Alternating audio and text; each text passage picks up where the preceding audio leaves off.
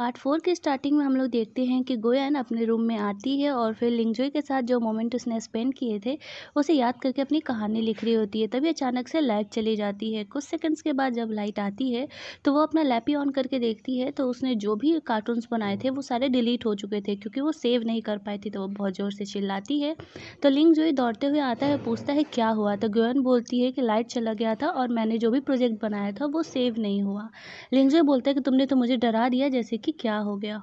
Next scene में हम लोग देखते हैं कि जो गोयन की फ्रेंड थी गुजाइनर उसका फ्रेंड है अभी लिंगजोई का छोटा भाई। एक्चुअली वो उसे पसंद करता है और वो उससे इसीलिए फ्रेंडशिप किया है। वो उसे घर छोड़ने के लिए आता है। तो जो गुजाइनर की मॉम होती है, वो देखती है कि वो उसे घर छोड़ने के लिए आया है तो वो उसे मिलने के लिए जाती है। उसकी मॉम से मिलने के बाद वो चला जाता है तो उसकी मॉम जो है गुजाइनर को समझाती है कि ये लड़का अच्छा है, तुम इसके बारे में सीरियसली सोच सकती हो। एक्चुअली गुजाइनर जो है लिंगजोई को पसंद करती है, लेकिन वो कुछ दिन से मिसिंग है तो इसीलिए उसके पेरेंट बोल रहे हैं कि उसके छोटे भाई के बारे में सीरियसली सोचने। सीन में हम लोग देखते हैं कि गोयान को ऑफ़िस में काम करते करते काफ़ी लेट हो जाता है, और इधर लिंगजोई जो है, घर पर गोयान का वेट कर रहा होता है। गुयान जब ऑफ़िस से घर आ रही होती है तो उसे फील होता है कि शायद कोई उसका पीछा कर रहा है तो वो जल्दी जल्दी चलने लगती है। उसे डाउट होता है कि जैसे ही उसके कोई पीछे है, शायद वो पीछे मुड़ती है तो कोई नहीं होता है और तभी अचानक से वहाँ पे लिंगजो आ जाता है। लिंगजो को देख करके वो थोड़ा सा रिलैक्स होती है, वो उसे पूछती है कि तुम यहाँ क्या कर रहे हो इस टाइम? तो लिंगजो बोलता है कि बोर हो रहा था, इसीलिए सोचा कि थोड़ा बाहर वॉक कर लेता हूँ। वो लोग अपने रूम में जाते हैं गोयन बहुत सारी चीज़ें शॉपिंग करके लाई थी और उसने लिंगजो के लिए एक मोबाइल भी शॉपिंग किया था और वो उसे देती है, बोलती है कि देखो कंप्लेन मत करना कि ये सेकेंड हैंड फ़ोन है ये बहुत अच्छा काम करता है। लिंगजे बोलता है कि मैं तुम्हें इसमें अपना नंबर सेव करने के लिए बोल रहा हूँ तो फिर गोयन उसमें अपना मोबाइल नंबर सेव कर देती है। करने के बाद वो रात में डिनर के लिए इंस्टेंट नूडल्स लेकर के आ रही थी तो लिंगजे बोला कि तुम हमेशा नूडल्स ही क्यों खाती हो? तो गोयन बोलती है, क्योंकि यही सबसे ईजी टू कुक होता है। लिंगजे बोलता है कि, छोड़ो, मैं तुम्हारे लिए बना देता हूँ डिनर ये बहुत ही टेस्टी और टेम्पटिंग सा डिनर रेडी करता है, जिसको देख करके गोयन काफ़ी इम्प्रेस हो जाती है। में बहुत सारा राइस देता है खाने के लिए तो गोयन बोलती है, अरे, मैं इतना ज़्यादा नहीं खाऊँगी। लेकिन जब वो फ़ूड टेस्ट करती है तो उसे बहुत ज़्यादा टेस्टी लगता है। और जो इलेक्ट्रिक कुकर में गोयन लिंगजोई ने जितना सारा फ़ूड बनाया था, वो सारा अकेले ही खा जाती है। जो ये जग करके बालकनी में जाता है तो देखता है कि गोयन का टी शर्ट बाहर टांगा हुआ है।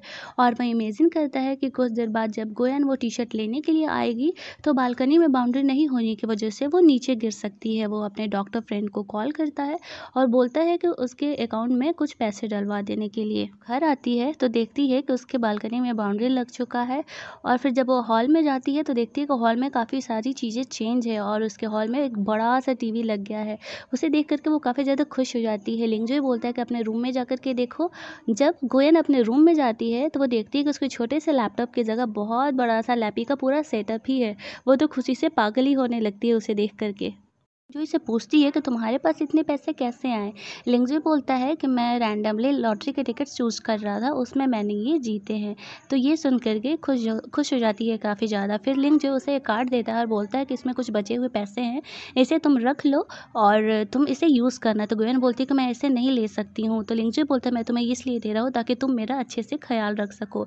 तो फिर गोयन वो कार्ड रख लेती है। नेक्स्ट डे जब गोयन अपने ऑफ़िस जाती है तो उसकी जो फ्रेंड लोग थी, उसके बारे में गॉसिप कर रही थी। उसकी जो सबसे क्लोज़ फ्रेंड थी, वो बोलती है कि गोयन ही उसके मैनेजर पे लाइन मार रही है। एक्चुअली वो मैनेजर को पसंद करती थी, लेकिन जो गोयन का ऑफ़िस का मैनेजर था, वो गोयन को पसंद करता था। इसीलिए जेलसी से वो उसकी चुगली कर रही थी कि गोयन का तो खुद ही बॉयफ्रेंड है। उसने बताया था कि उसका बॉयफ्रेंड फॉरन में रहता है और देखो, यहाँ पर ये मैनेजर पर लाइन मार रही है। बाकी जो और लड़कियाँ थी, वो गोयन को सपोर्ट करती है, बोलती है कि जब मैनेजर को पता है कि उसका बॉयफ्रेंड है तो उसे भी तो ऐसा नहीं करना चाहिए ना।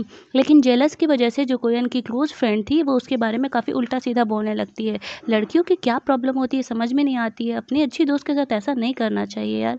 फिर वो बोलती है कि अच्छा चलो हम लोग चेक करते हैं। आज हम लोग उसके घर जाएँगे और देखते हैं कि क्या मैटर है। आप लोग मुझे बताओ कि आप लोग के साथ कभी ऐसा हुआ है कि आपके क्लोज फ्रेंड ने ही आपके पीछ पीछे इस तरीके से आपकी बिचिंग की हो, वो भी किसी एक लड़का या लड़की के लिए?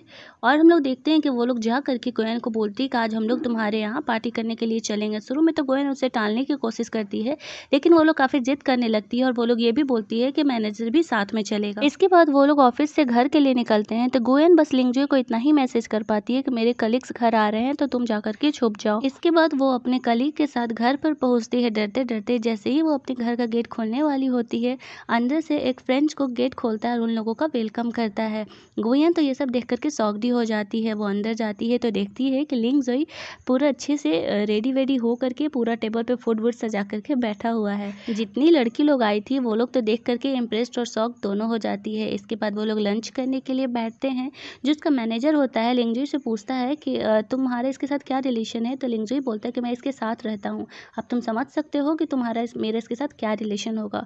और जो गोयन की क्लोज फ्रेंड होती है ऑफ़िस में, वो इससे पूछती है कि तुमने तो कहा था कि तुम्हारा बॉयफ्रेंड फॉरेन में रहता है। तो लिंगजे बोलते हैं कि हाँ मैं अभी ही वापस आया हूँ। मुझे नहीं लगता कि हमें अपनी पर्सनल मैटर ऑफ़िस के लोगों से डिस्कस करने की ज़रूरत है। इसके बाद लिंगजे जो है, सबके लिए गिफ्ट भी अरेंज किया था तो वो सबको गिफ्ट देता है। इसके बाद वो लोग लंच करने के बाद ऑफ़िस के लिए वापस निकलते हैं, जो गोयन की क्लोज फ्रेंड थी, जो जानबूझ करके गोयन को परेशान करने के लिए ऐसा करी थी, उसका तो मुँह ही बन गया था। वो लोग वहाँ से जाते हैं तो गोयन वापस लिंगजो के पास आती है और बोलती है कि ये सब करने की क्या ज़रूरत है? मैंने तुम्हें छुपने के लिए बोला था तो चुपचाप चले जाते। लिंगजो बोलता है कि तुम्हारे को वर्कर्स तुम्हारे जानबूझ करके परेशान करने के लिए ऐसा कर रहे थे। और ये फॉरन वाला बॉयफ्रेंड का क्या झूठ बोला है तुमने? तो गोयन बोलती है अरे, वो तो बस मैंने ऐसे ही टालने के लिए बोल दिया था। तो लिंगजो बोलता है कि तुम मुझे यूज़ कर सकती थी, ये ज़्यादा आसान था मुझे लगता है सिचुएशन को टालने के लिए। गोयन बोलती है हाँ आसान तो था। फिर उससे पूछती है कि तुम्हारे पास इतने पैसे कैसे आए फिर तुमने लॉटरी जीता क्या? तो लिंगजी बोलता है कि नहीं, जो अकाउंट में मैंने तुम्हें पैसे दिए थे, वही मैंने यूज़ किए हैं। तो ये सुन करके गोयन को थोड़ा सा बुरा लगता है और थोड़ा सा गुस्सा भी आता है, लेकिन वो उसे कुछ बोलती नहीं है और फिर चुपचाप से अपने रूम में चली जाती है। रूम में जाने के बाद वो सोच रही होती है कि मुझे बुरा नहीं लगना चाहिए। वैसे भी वो मेरे पैसे थोड़ी थे, वो जो भी करे। इसके बाद कुछ देर बाद स्टोरी लिखने के बाद जब अपने रूम से बाहर निकलती है तो देखती है कि लिंग जो है लैपटॉप पे कुछ काम कर रहा है। वो उसे जा के देखती है तो लिंगजे उसे समझाता है कि तुम अभी भी गुस्सा हो तो गयन बोलती नहीं, मैं गुस्सा नहीं हूँ। फिर उसे पूछती है कि तुम क्या कर रहे हो लैपटॉप पर तो बताता है कि देखो, ये मैंने एक नया प्रोग्राम ढूंढना है, तुम इसे चेक करो। गोयन उसे चेक करती है। लिंगजे उसे दिखाता है कि अगर तुम कोई प्रोजेक्ट बना रही हो और अगर ये अचानक से बंद हो जाए तो फिर ऑन करने के बाद ये ऑटोमेटिक सेव कर लेता है। तो ये देख करके गोयन काफ़ी खुश हो जाती है और बोलती है कि अच्छा तुम्हारी हरकतें देख करके अब मुझे समझ में आ रहा है तो तुम हैकर हो। तो लिंगजे बोलता है, तुम ज़्यादा नहीं सोचो, ऐसा कुछ भी नहीं है और तुम अभी भी मुझसे गुस्सा हो तो गोयन बोलती है कि नहीं, मैं तुमसे अब गुस्सा नहीं हूँ। नेक्स्ट डे गोयन अपने ऑफ़िस गई होती है। लिंगजोई घर पे ही होता है। तभी कोई दरवाज़ा खोल करके अंदर आता है। लिंगजोई को लगता है कि वो कोई चोर है मे बी और उसका हाथ पर बाँध करके वो गोयन को फ़ोटो भेजता है। गोयन जब फ़ोटो देखती है तो दौड़ते हुए वापस आती है। वो कोई और नहीं गोयन की फ्रेंड योयो थी। उसकी फ्रेंड पूछती है कि आखिर ये है कौन और ये तुम्हारे साथ क्यों रह रहा है? गोयन बोलती है, बहुत लंबी कहानी है, मैं फिर तुम्हें बाद में बताऊँगी। फिर वो पूछती है कि तुम तो कही थी कि तुम कुछ दिनों के लिए बाहर रह रही हो। तो उसकी फ्रेंड बोलती है कि हाँ मॉम डैड से लड़ाई हो गया उन्होंने मेरे सारे कार्ड्स ब्लॉक करा दिए। मेरे पास कहीं रहने का जगह नहीं था। प्लीज़ मुझे यहाँ पर कुछ दिन के लिए रहने दो। तो कोयन बोलती है ठीक है तुम रह सकती हो। लेकिन लिंगजोई को तो जलन हो रहा था। वो उसे बोलता है कि चलो मुझे आ, बात करना है तो तुम मेरी हेल्प कर दो। ये देख ये सुन करके उसकी फ्रेंड सॉक्ड हो जाती है कि उसको नहाने में गोयन क्यों हेल्प करने के लिए जाएगी गोयन बोलती है अरे ऐसा कुछ नहीं है जैसे तुम सोच रही हो। फिर गोयन लिंगजोई को लेकर के वॉशरूम में जाती है। उसकी फ्रेंड इमेजिन करने लगती है कि लिंगजोई क्या करने वाला है उसके साथ वॉशरूम में। वो दौड़ करके जाती है देखने के लिए। तो गोयन बस उसका हेल्प कर रही थी। तो फिर वो वापस लौट आती है। रात में गोयन अपने फ्रेंड को सारी बात बताती है कि किस तरीके से, किस कंडीशन में लिंगजे उसके साथ रह रहा है। तो उसकी फ्रेंड बोलती है कि ये तो बिल्कुल फिल्मी कहानी है, तुम श्योर कि तुम उसको पसंद नहीं करती हो? तो गोयन बोलती है कि नहीं, ऐसा कुछ नहीं है और ये इतना हैंडसम है कि इसका गर्लफ्रेंड होगी ही। फिर उसकी फ्रेंड बोलती है अच्छा सुनो ना, मुझे तुमसे एक हेल्प चाहिए। तुम लिंगजे को बोलोगे तो वो तुम्हारी बात सुनेगा। इसके बाद वो उसे कुछ काम करने के लिए बोलती है। नेक्स्ट मॉर्निंग गुएन लिंगजोई को बोलती है कि अच्छा सुनो तुम मेरी एक हेल्प करोगे? तुम मेरी फ्रेंड का फेक बॉयफ्रेंड बनने का नाटक करोगे? उनके पेरेंट के सामने? दोनों को उम्मीद थी कि वो ना ही कहेगा लेकिन लिंगजोई बोलते हैं कि हाँ ठीक है मैं हेल्प करूँगा लेकिन तुम भी चलोगे मिलने के लिए। तो गुएन शुरू में मना करती है उसकी फ्रेंड बोलती है कि मैंने अपने पेरेंट को यही बोला है कि तुमने उस लड़के को इंट्रोड्यूस कराया है। तो फिर लास्ट में गुएन भी जाने के लिए रेडी हो जाती है। वो लोग योयो के पेरेंट्स से मिलने के लिए जाते हैं और लिंगजो से मिल करके उसके पेरेंट काफ़ी ज़्यादा इम्प्रेस होते हैं। इसके बाद वो लोग तीनों साथ में ड्रिंक करने के लिए जाते हैं वहाँ पर गोयन बहुत ज़्यादा ही ड्रिंक कर लेती है और किसी को पता नहीं होता है कि आखिर गोयन इतना ज़्यादा ड्रिंक क्यों कर रही है, लेकिन गोयन को तो अंदर ही अंदर बुरा लग रहा था, उसे ऐसा फील हो रहा था जैसे कि लिंगजे को कोई उससे छीन रहा है। इसके बाद वो अचानक से बेहोश हो जाती है बहुत ज़्यादा ड्रिंक करने की वजह से तो फिर लिंगजोई और उसकी फ्रेंड दोनों मिल करके उसे घर ले करके जाते हैं। गोयन जो है सोफ़ा पर ही सोने लगती है तो उसकी फ्रेंड बोलती, करिए, तुम्हारा बेड नहीं है, तुम यहाँ पर मत सो। तो गोयन बोलती कि, नहीं, ये मेरा बेड है।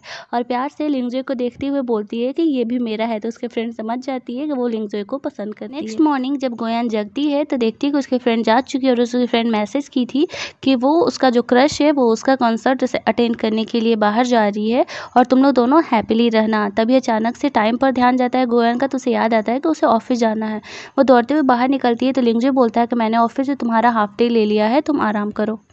नेक्स्ट सीन में गोयन अपना शिफ्ट कंप्लीट करने के लिए ऑफ़िस में जाती है। काफ़ी रात हो गया था और उस समय ऑफ़िस में कोई नहीं था। कुछ देर बाद सारा काम कंप्लीट करने के बाद जब वो निकल रही होती है तो उसे लगता है कि ऑफ़िस में कोई है।